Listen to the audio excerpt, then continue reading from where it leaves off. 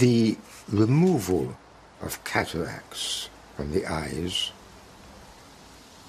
is comparable with the removal of a particular form of forgetfulness. Your eyes begin to remember first times.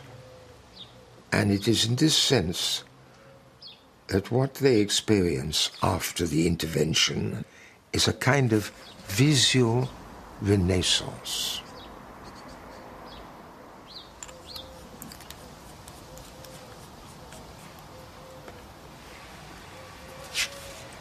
The unstartling heterogeneousness of the existent has marvelously returned.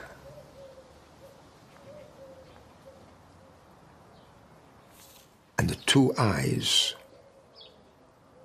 portcullises now removed, again and again register surprise.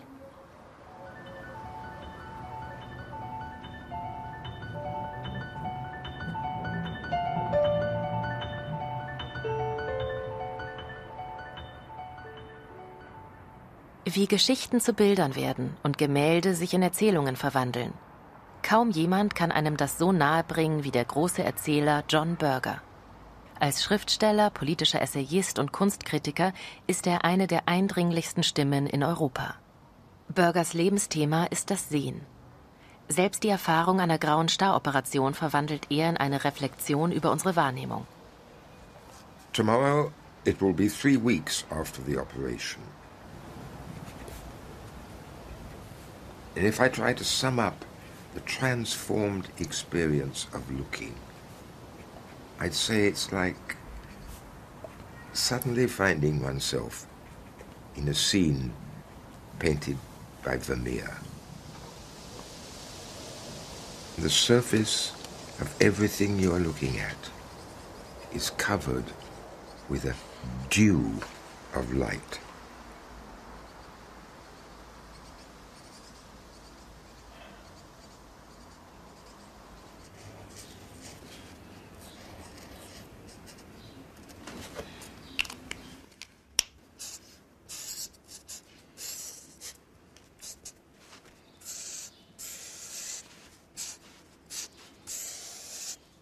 John Berger verleiht seine Augen, sagen seine Freunde.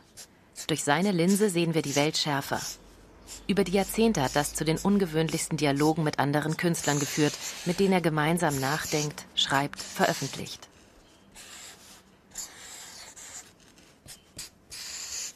Das Geschenk der neuen Augen nach der Operation teilt Berger mit seinem Freund, dem türkischen Zeichner Selçuk Demirel. Daraus entsteht ihr gemeinsames Buch Katarakt vom Wunder des Sehens. Ah.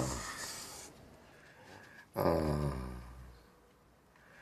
Ah, Selçuk. You an endless storytelling imagination. Avec John, c'est une amitié de presque 30 ans. On a réalisé deux, trois livres ensemble, mais c'était pas une commande. C'était pour plaisir, c'était comme un jeu. Il m'a expliqué que voilà, si tu veux, il m'a dit, je peux, je peux organiser un, rendez-vous, tu peux participer à l'opération, euh, ça peut être une expérience pour toi, comment ça se fait l'opération de l'œil. Puis on est allé euh, au hôpital 15-20, il avait son médecin, il me présentait, et puis voilà, il a dit lui aussi il est obsédé de l'œil, il dessine tout le temps les yeux, tout ça. Puis euh, nous, tous les deux, obsédés de le voir et les, comment dire, des regards de l'œil. C'était ça peut-être l'essentiel du bouquin, c'est les mémoires de l'œil, mémoire du regard.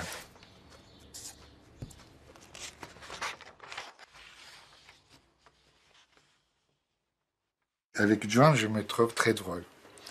Parce que John, il rend euh, ses entourages. Euh, par exemple, moi, personnellement, je me sens plus intelligent, plus drôle, plus généreux quand je suis avec lui.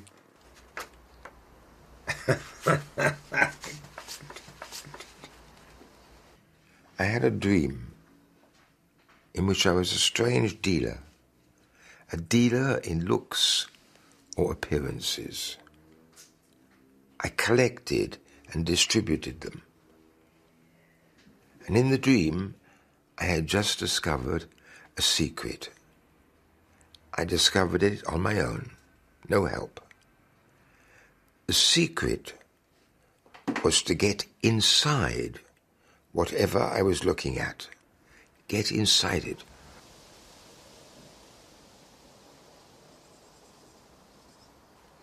When I woke up from that dream, I couldn't remember how it was done. And I now no longer know how to get inside things.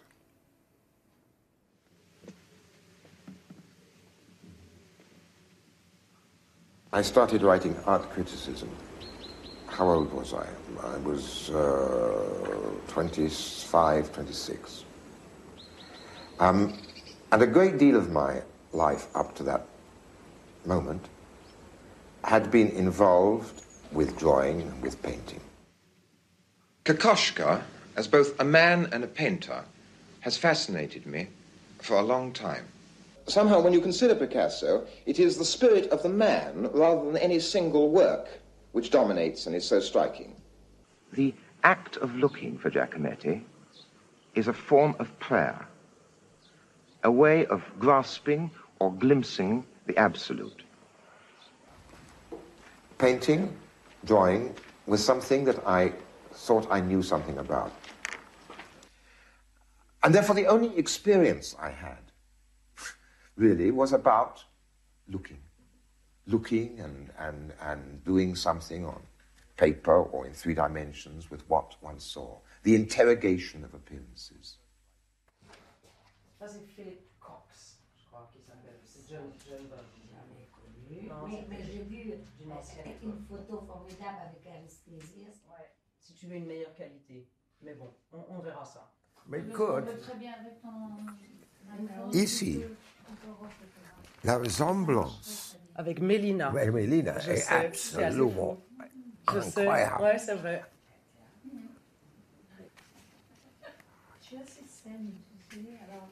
There I was about 16, 17, maybe 18, I don't know, and you were in your... Yes. Um, That and that is that's a Trochpali, I think. I think so. it's a Trochpali. No, I think so too. But we look good, don't we? Very Both good. of us. Very good. Si- Since you were a small kid, we used to look at pictures, reproductions together, in books, on postcards, and then we would chat about them. Exactly. Um, so here, oh, this is about a little collection of pictures that could come from our life. Let's go on chatting. Exactly.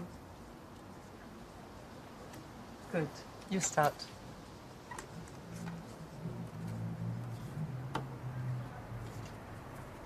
Do you feel like that sometimes in the morning? Um, not really. Not really, but I, but um, I would love to be able to plunge my hand in such luxurious hair. I, I wish I could, but no, I don't. But do you think that this could be the head that fits behind this?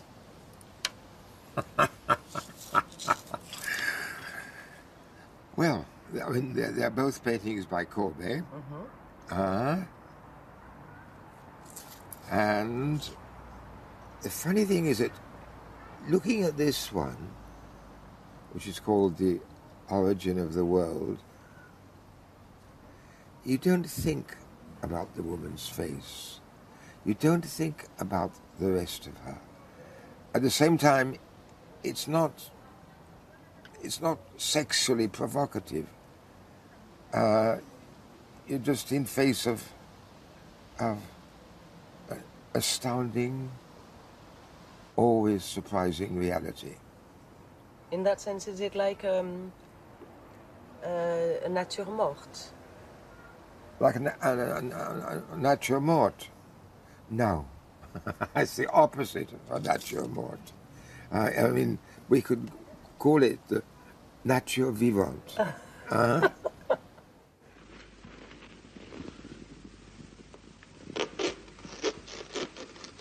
This is the first of four programs in which I want to question some of the assumptions usually made about the tradition of European painting. Filming this was a moment of great tension for me because if John was going to screw it up, there was no way we could repeat it. Well, this is where a lot of my old films and all the stuff is, including some, including, I think, the original film cans containing the cutting copy of Ways of Seeing. Auch der britische Regisseur Mike Dibb hat sich mit John Berger auf eine Exkursion über unsere Sehgewohnheiten begeben. There it is, Ways of Seeing. So, programs one and two, and the old film. Ihre legendäre BBC-Serie Ways of Seeing öffnete 1972 einer ganzen Generation die Augen für eine neue Politik des Sehens. I think the first idea he had was to use an archetypal European painting as a point of departure and deconstruct the concept of national heritage. What did national heritage mean when we talked about national heritage, when we really were talking about the private wealth of enormous landowners? The process of seeing paintings or seeing anything else is less spontaneous and natural than we tend to believe. A large part of seeing depends upon habit and convention. All the paintings of the tradition used the convention of perspective, which is unique to European art. I remember saying, Well, John, shouldn't we just say, well, maybe or perhaps or something? He said, No, no, no, no. You just got to say it. If you say it and somebody disagrees, then they're engaged. Now, perspective centers everything on the eye of the beholder. It is like a, a beam from a lighthouse, only instead of light traveling outwards, appearances travel in. And our tradition of art called those appearances reality. We tried a lot of experiments, and funnily enough, most of them didn't work terribly well, but one worked amazingly when we had the uh, Caravaggio. I think it's a man. It's a woman. Man. It's a woman. There's no bristles even. Yes, but he hasn't got any bristles. He got a moustache. Yes, but he hasn't got any bristles. Um, but all of, the, all of, no, not quite all, but most of the boys thought that he was a man, and most of the girls, you thought he, she, she was a woman. I'm not sure. What And you said she was, she was perhaps both. Because they were really looking and really relating what they saw to their own experience, they recognized something that most adults wouldn't. Without knowing the artist's name, let alone anything about Caravaggio's life, or the fact that he was a homosexual, they immediately saw how sexually ambivalent the principal figure was. Caravaggio is, is, is, I think, he's my favorite painter. I mean, the paintings by other painters, which perhaps I prefer, but as a, as a figure, as, as a, a life, uh, he, he is my, his life is my favorite life of a painter. Um, and why? Because he was consistently a rebel. You cannot predict the impact a series has. And not, I don't think it occurred to John and myself the effect the series was going to have. Because it didn't certainly occur to the BBC that it might have any impact. To actually suggest at the end of a television film, be critical of what we're telling you, that was also uh, just something which was just so different. But remember that I am controlling and using for my own purposes the means of reproduction needed for these programs. The images may be like words, but there is no dialogue yet. You cannot reply to me. I hope you will consider what I arrange, but be skeptical of it. From a very, very early age, really when I was a small kid at my first school, um, I was uh, skeptical about the world and what was happening around me. Uh, and so uh, I became a conspirator against it. And then, now, I think as soon as I'm really in contact with somebody, whether I know them very well and, and love them or whether it's a stranger, if there is that common feeling, I treat them as a fellow conspirator. As a an, an accomplice, complicity. An, an, an accomplice, and and and with a with a wink. Huh? Huh? I propose a conspiracy of orphans. We exchange winks. We reject hierarchies, all hierarchies. We take the shit of the world for granted. And we exchange stories about we ways in which we nevertheless get by. We are impertinent. Yes, we are impertinent. And I guess that I approach and chat up viewers and readers in the same way, as if you too were orphans. Get what I mean? I said to him, you know, I knocked the ball to him, and I said, "Well, how can we how can we start? How should we start?" And then he said to me, you know, the bang with the ball came back, and he said, uh, "Will you? Uh, why didn't you just send me a colour?" I said, "Okay, great." And it was, but then of course I put the phone down and thought, "Well, what's he talking about? Um, how am I going to do that?" Send him a colour. I mean, would I send him some powder? I don't know, some coloured powder. How, what would I do? Auch der Maler, Verleger und Kameramann John Christie ist einer von Burgers langjährigen Komplizen. Gemeinsam haben sie unter anderem über Farben nachgedacht und daraus ein Buch gemacht. I Send You This Cadmium Red. So here we have the very first letter I sent. Yesterday I went to a funeral, someone I didn't really know very well, and during the service, before the cremation, I was looking at the flowers. Uh, but when I got home, I was still thinking about these flowers, and I thought I posed myself a, a problem uh, to try and find the red colour, which I liked very much. Um, I tried to identify it, and I went to my watercolour box. And so, for no better reason than the memory of those flowers, I send you this cadmium red. And then very soon I got a letter back from him. Red is not usually an innocent colour. But the red you sent me is. Mm-hmm. Yeah, it's the red of childhood. A pretend red. Or, if you like, the red of young eyelids shut tight. It's like the colour when you're a kid, when you shut your eyes and look up at the sky. And it's that colour, that red colour with the blood in your eyelids. Um, and I thought, gosh, that's amazing. And then, of course, we went on from that, where we making and making these different letters and replies. We didn't start off with a proper list, or I mean, a list of colours. These are the ones we're going to do. They're very much colours that presented themselves to us. It was John's question to do with uh, Genevieve being pregnant. What colour would you see inside her? And so the colour I worked out or thought about was mother of pearl. Um, and so look, there's there's the photo. Genevieve's where is she? In that holder. Genevieve's there. This one little figure in the blue dress. And John described this the bay, all the things leading to this figure. The world is spread out for her.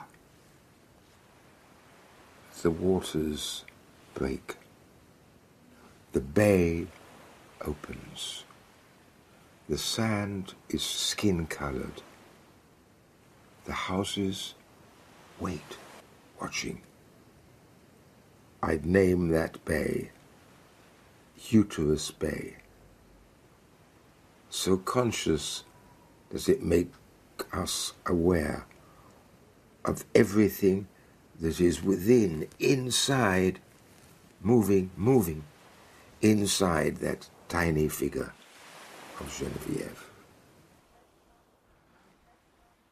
So they were all things that came from really thinking about, um, just thinking about this shell. I mean, I hadn't even looked at for, but because I was writing about it to John, trying to make something interesting. And then you discover things that you hadn't. I, I discovered things I hadn't seen at all.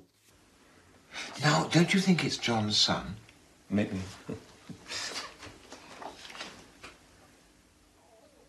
Johnny. Um, no, it's you. It's not. It's you.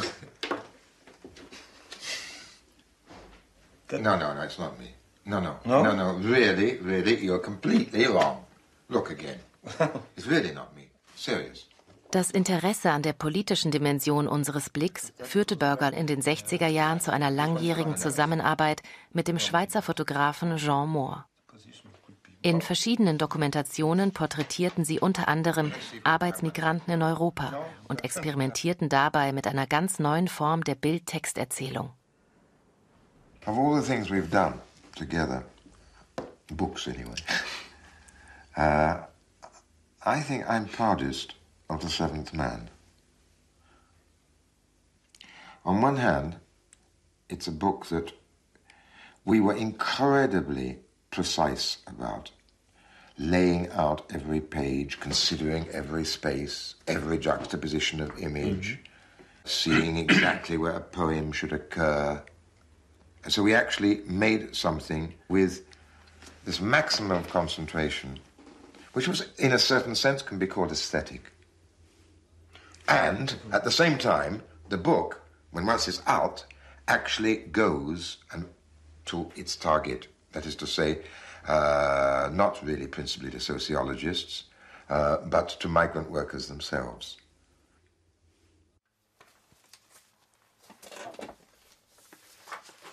Sa première réaction a été de dire c'est terrible, au moins une moitié de ce que j'ai écrit, je peux le mettre au panier, ou le mettre de côté en tout cas, parce que toi, avec une image, tu dis davantage que moi avec plusieurs pages de texte. J'étais très fier de moi, et ensuite il a rajouté, mais toi aussi, les photos que tu me montres là, il y en a un bon tiers que tu peux oublier pour notre livre en commun. Ce sont des photos trop esthétiques et trop indirectes. Alors, ça m'a fait beaucoup de mal sur le moment, mais j'ai dû admettre que il avait raison. Il se méfiait des trop belles photos.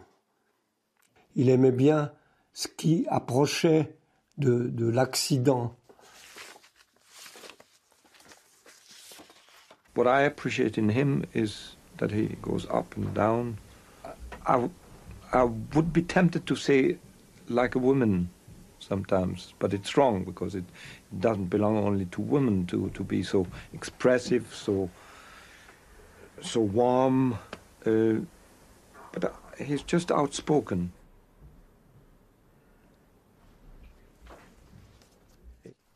Je pense qu'au fond, il aurait aimé être un tout petit peu acteur. Donc, son côté showman ressort à tout moment. There are pictures of John as a young man, like that one, where he's very strong and certain of himself and, well, very positive. But it's more or less the public face he wants to give away. while in the last 10 years, I begin to catch on his face all kinds of other feelings, certain anxiety, also doubts about some of his beliefs. Okay, so here is somebody else traveling, and I know that this painting counted a lot for you in your whole in the, your whole life. And Yes. Are we approaching motorbikes here? Yes. Yes. Yes, yes. Here we're approaching motorbikes. Oh, incredibly. Uh, and of course, it's by Rembrandt, and it is called The Polish Rider. Who he was and where he was, and I don't think Rembrandt called it Polish Rider, but uh, if I was a manufacturer of motorbikes, I would I would call one the Polish Rider. Yeah, Oh, use that bang. in publicity.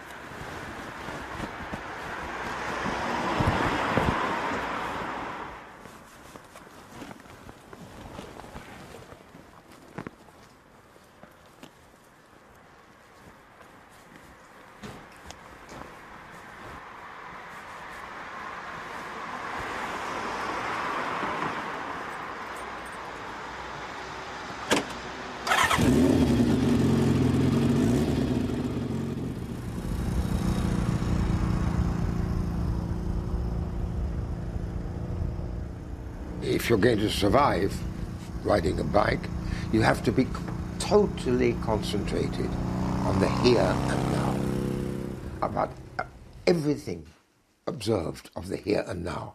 You don't think about the past, you don't think about the future, you don't have memories, you don't have expectations, except the immediate ones, which are to be negotiated. And this concentration on the here and now is curiously calming. Uh, because, well, you are alive, you're moving, uh, and uh, you notice what you're moving through, and that's all that exists.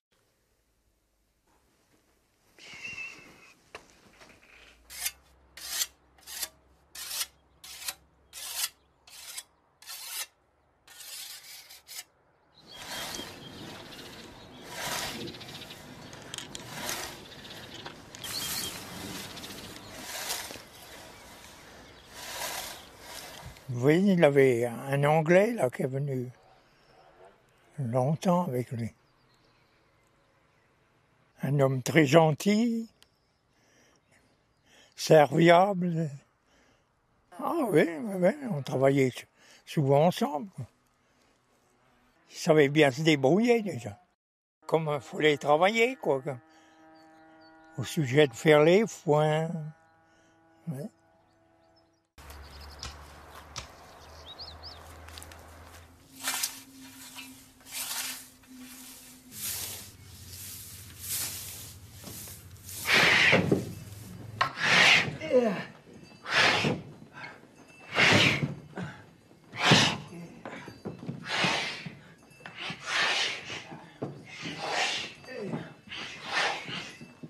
I was looking at that time for a piece that I was going to make.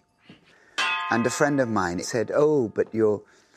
Remember what John wrote in Pig Earth. Remember, do you remember the three lives of Lucie Cabrol? And I wrote to John and said, You know, would you consider letting me make this for the stage? And John, being John, said, Well, of course. Well, the only payment I would require is if I could come and watch you work at some point. So then I went up to visit him for the first time in the mountains with my designer. And we walked with John through the mountains. And he'd showed us the very places which had been inspirational to him in making Lucie Cabrol.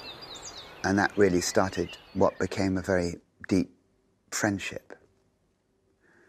And so, as a consequence, we've done many, many, created many pieces together. You know, the story of Lucie Cabrol, there was really a, a woman. And most of the characters in the story are, are people I, I came to know quite closely. And now to see those lives transported here and actually speaking to thousands of people who are so, so far away from the life of peasants in mountain villages is uh, still something which is very, very mysterious to me. Die szenische Adaption von Burgers Erzählung Die drei Leben der Lucie Cabrol wird zu einem internationalen Erfolg für die britische Theaterkompanie The Complicité. Lucy Cabrol, who was known as the Cockadree, is dead.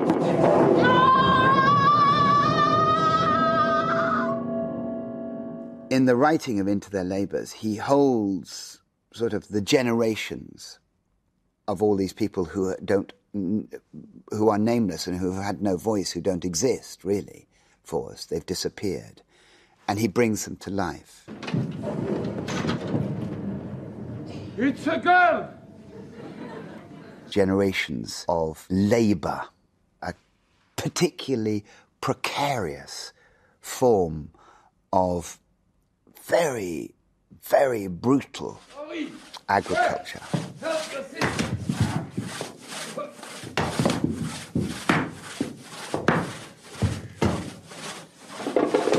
I might say, well, what if we do this? And we change it and develop it. And, or I might add something, or I'd found something, or we missed something, and I would invent something else. Whatever I suggested, he would not only consider it or be open to it, he would be immediately interested. My father, mother, brothers, sisters, cows, horses, rabbits, chickens, goats, all have gone. And Lucie Cabrol Is dead. is dead. I say that, But I do not altogether believe it. and I don't altogether believe it, Sometimes it seems to me that I am nearing the edge of the forest. I will never again be sixteen. And if I am to leave the forest, it will be on the far side. it will be on the far side. Do I feel this because I'm old and tired? I doubt it. But there are moments when I see something different. Moments when a blue sky reminds me of Lucie Cabrol. I can smell the lilac through the shit. It smells of mint mixed with a lot of honey. And this perfume takes me back to my very early childhood, to the first garden I ever knew, from long before either lilac or shit had a name. Tu nous manques, John. Quand c'est que tu viens faire un tour à Quincy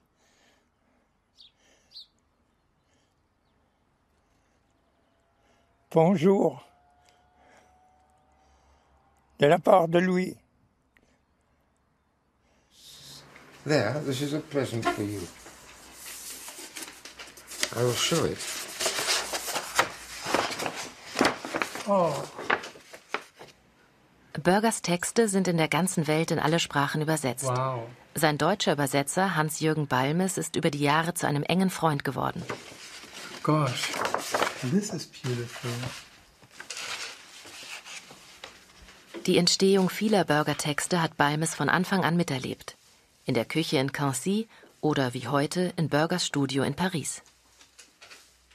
I think he's going upstream a river. yes, yeah, yeah, exactly, exactly.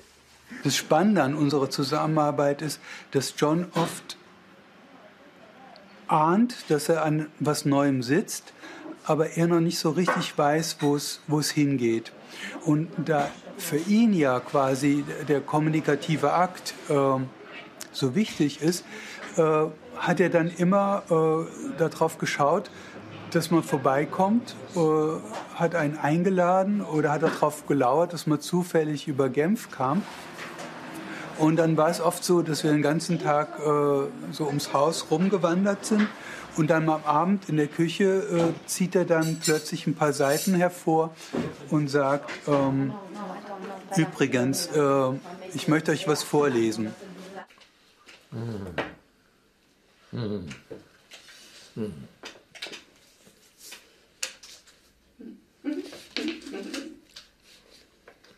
Okay.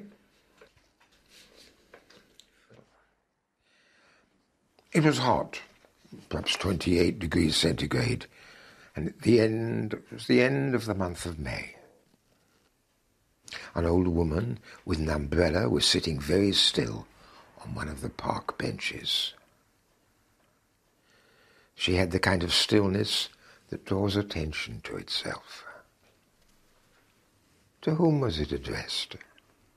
Abruptly, abruptly, as I was asking myself this question, she got to her feet, turned, and using her umbrella like a walking stick, came towards me.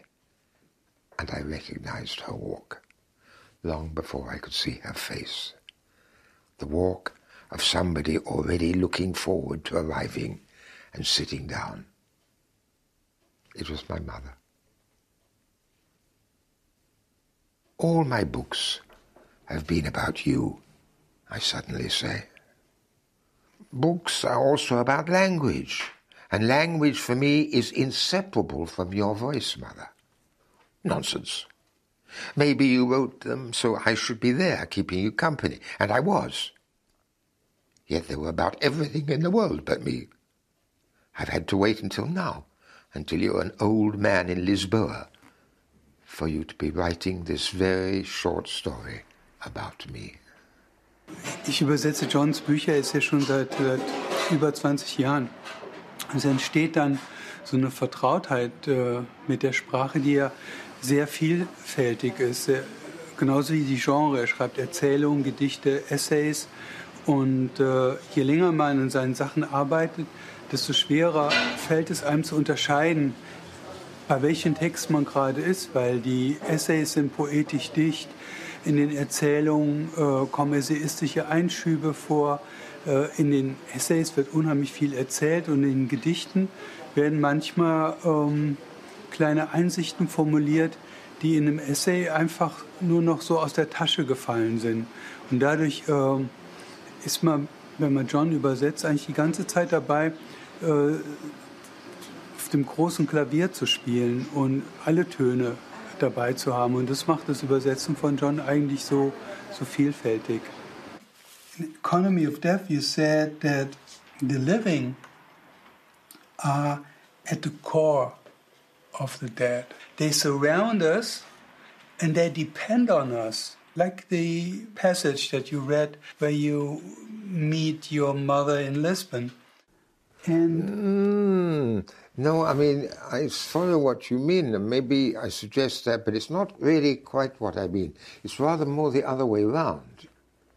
Uh, uh, I mean, it is that uh, we uh, need the dead um, to, to uh, to recognize ourselves in any way, uh, the dead are essential to us. Uh, um, and that recognition begins with their company in mortality. Mm.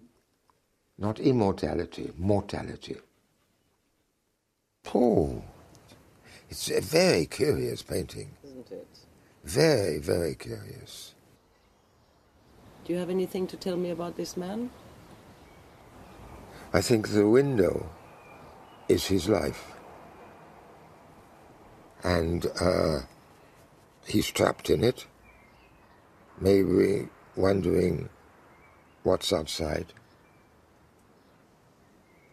And when he shuts his eyes, the window will vanish.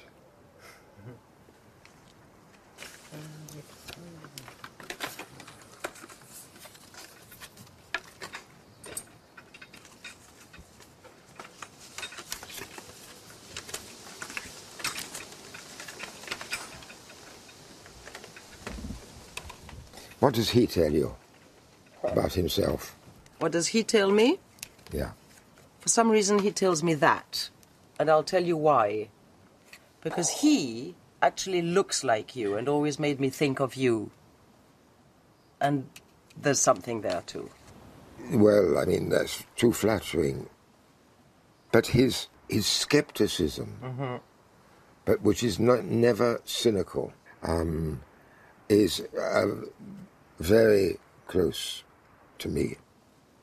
And you know, this is not to claim anything for myself, but I mean, that is really the image of the storyteller. Mm-hmm. Huh? Not the novelist, uh, uh, not the fashionable literary creator, but the guy, often nomadic, who goes from place to place and tells stories that he has lived or that he's making up. And that, that idea of a traveler, uh, that idea of uh, somebody who is completely free from institutions, is something also which is contained for me in this term storyteller. Um, and which, in all modesty, um, I try to be myself.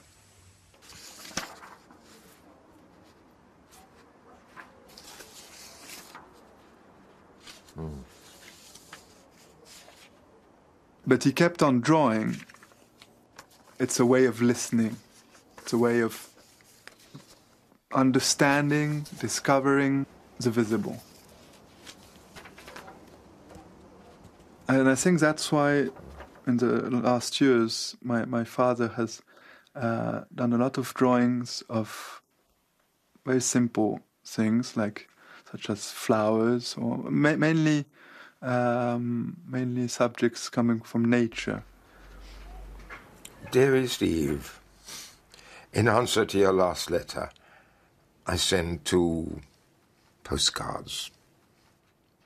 One is a photo of a terracotta by Della Robbia. And the second is a sketch by me, what I call a text, of a white rose from the garden. I noticed that it had certain curious echo with the photo of the Madonna. Something a little similar in mood and rhythm, no? You see? Neighbors on the same table. That's all. And the rose doesn't offer consolation, but resists. Resists by itself the cruelty of life.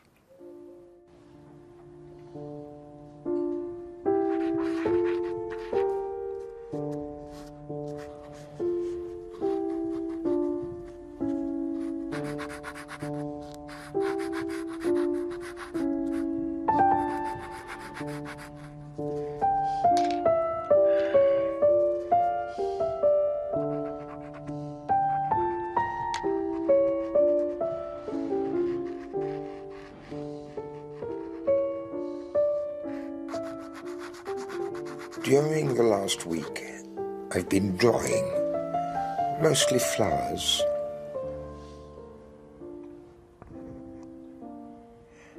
I've been asking myself whether natural forms, a tree, a cloud, a river, a stone, a flower, can be looked at and perceived as messages. Messages, it goes without saying, which can never be verbalized and are not particularly addressed to us. Is it possible to read natural appearances as texts? Hmm.